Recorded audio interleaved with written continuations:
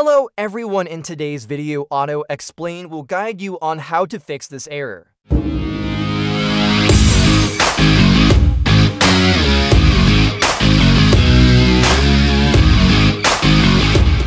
We start by launching Xentry to perform a full diagnostic scan. The system detects fault code B220600. The current vehicle identification number is incorrect or not present.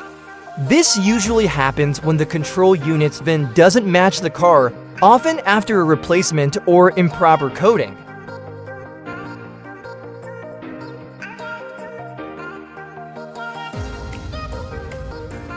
Next, we go to the coding section inside Xentry.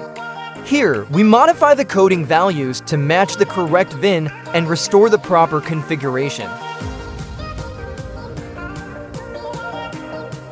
The coding data mismatch has now been corrected, but the VIN error B220600 still remains.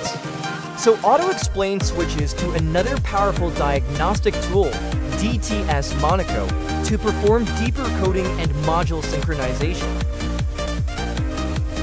We connect to the control unit FCW246, which manages the collision prevention assist system.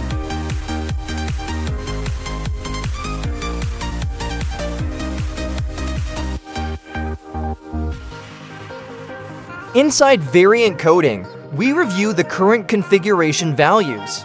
Some parameters don't match the vehicle's specifications, which make us VIN conflicts. Let's correct these values before proceeding to flashing. We read the fault memory again. The B220600 error is still active. That confirms we need to go further and reflash the control unit. We return to variant coding and modify several more parameters related to VIN and radar configuration. Each change brings the module closer to full synchronization with the vehicle's identity.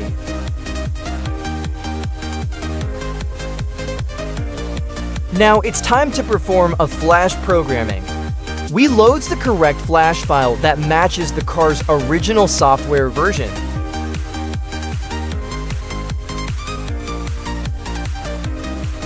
This process will rewrite the internal memory of the radar unit with factory data. Now open the Vediamo software to write the correct VIN and reinitialize the module's core software. The FCW246 ECU is successfully contacted.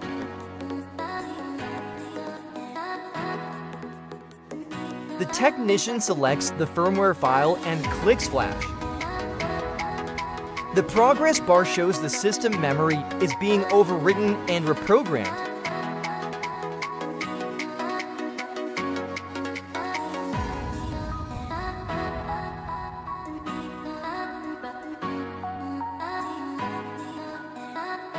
The process is finished, flashing completed successfully.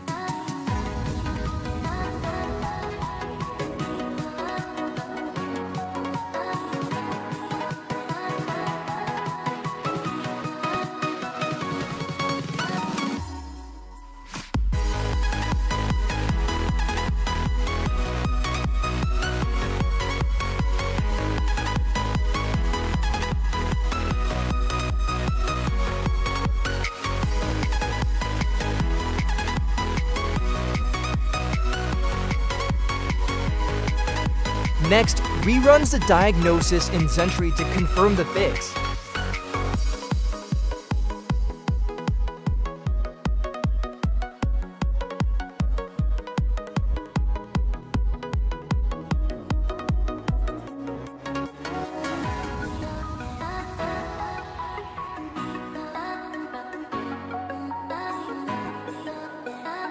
Re-enters the A90 module to check the fault memory specifically.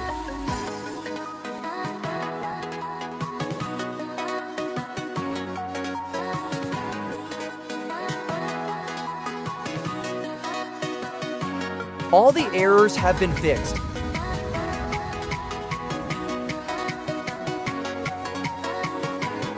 Click Clear Fault Memory to clear all the fault code.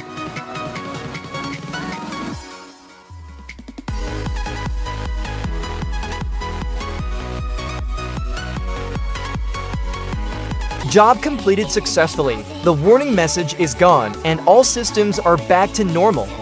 If you found this guide helpful, subscribe to Auto Explain for more diagnostic and repair tutorials for Mercedes vehicles. Need help with a similar issue?